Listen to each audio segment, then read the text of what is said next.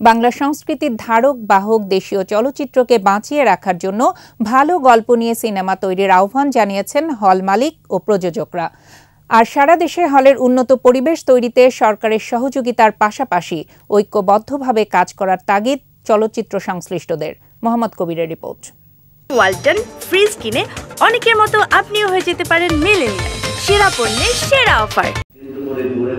চলচ্চিত্র শিল্পীর সমস্যা ও উত্তরণের উপায় নিয়ে বাংলাদেশ চলচ্চিত্র সাংবাদিক সমিতির এই আলোচনা।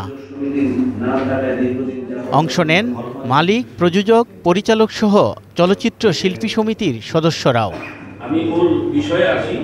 বাংলা চলচ্চিত্রের সুদিন ফিরিয়ে আনতে ভালো গল্পের বিকল্প নেই বলে মন্তব্য করেন সিনেমা হল মালিকরা।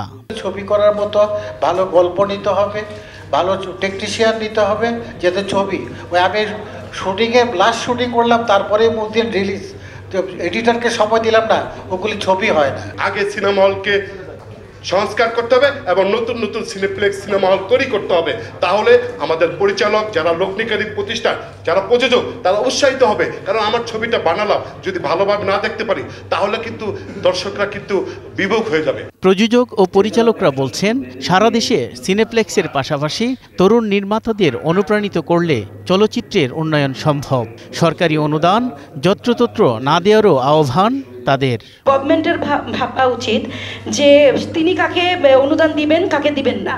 এবং অনুদান নিয়ে দেখা যায় যে টাকাটা হেলাফেলা করে ফেলে রাখা হচ্ছে কবে এটার মেক করবে তার কোনো ঠিক ঠিকানা থাকে না। আসলে এই বিষয়গুলো অনেক বেশি ইম্পর্ট্যান্ট যারা রেগুলার ছবি বানাচ্ছেন তাদেরকে নিয়ে যারা রেগুলার অভিনয় করছেন তাদেরকে নিয়ে যারা রেগুলার সিনেমা হলের সাথে সম্পৃক্ত আছেন তাদেরকে নিয়ে যারা বিগত দিনে ভালো ছবির সাথে সম্পৃক্ততা ছিলেন তাদেরকে নিয়ে যারা ভবিষ্যতে ভালো কাজ করবেন তাদেরকে নিয়ে এই আয়োজনটা আরও সুন্দরভাবে শক্তিশালীভাবে কার্যকরীভাবে উদযাপন করার চেষ্টা করব।